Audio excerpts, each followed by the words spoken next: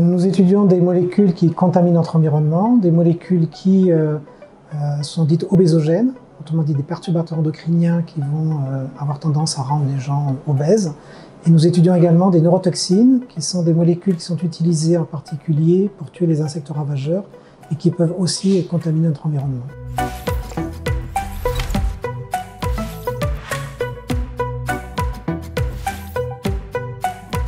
Nous faisons des études sur le poisson zèbre parce que cet animal, il a un intérêt majeur, c'est que euh, il est très facile à élever. On a un ancêtre commun avec cet animal euh, qui a vécu il y a 450 000 ans d'années. Certains processus biologiques sont hautement conservés depuis cet ancêtre. Autrement dit, ces mêmes processus existent chez l'humain et chez le poisson. Nous, on utilise un animal de laboratoire. C'est un animal de laboratoire, c'est un modèle qui peut être utilisé pour anticiper ce qui pourrait se produire chez les autres animaux aquatiques.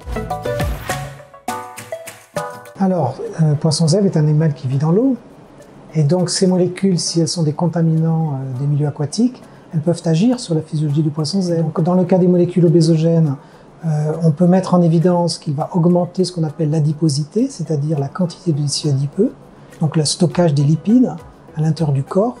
Étant donné que le poisson zèbre sur lequel on travaille au stade qu'on utilise est transparent, on peut visualiser les adipocytes, donc ces cellules qui sont qui accumulent ces lipides. Dans le cas de la neurotoxicité, eh bien, que ce soit un insecte, un poisson zèbre, un humain, euh, n'importe quelle autre espèce animale, euh, le, contrôle de la locomotion via le système nerveux est très très similaire chez tous les animaux. Et euh, cette action est tout à fait similaire à celle qu'on peut entrevoir chez l'humain, c'est-à-dire augmenter son adiposité, modifier son comportement locomoteur, ça, ça peut avoir des conséquences importantes, en particulier sur sa reproduction, sur sa capacité à, euh, euh, perdurer euh, dans un espace naturel. elles peuvent être utilisées par l'industrie, elles peuvent être utilisées par l'agriculture, et ces molécules, eh bien, on peut être contaminé par voie alimentaire, par voie respiratoire, par voie cutanée, par nos autres boissons également.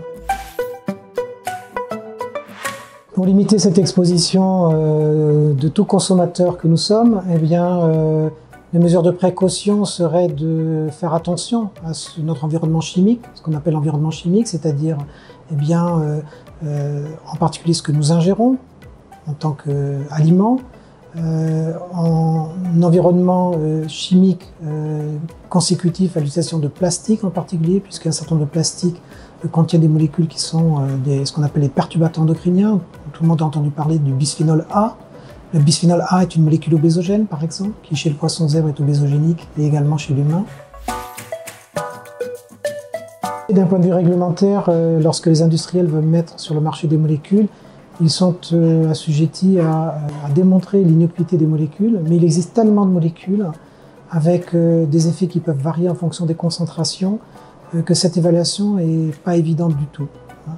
Et euh, c'est la raison pour laquelle eh bien, de nouveaux tests sont nécessaires. Et dans notre équipe, nous développons des nouveaux tests en utilisant le modèle poisson Z qui seraient prédictifs de leur effet sur l'humain.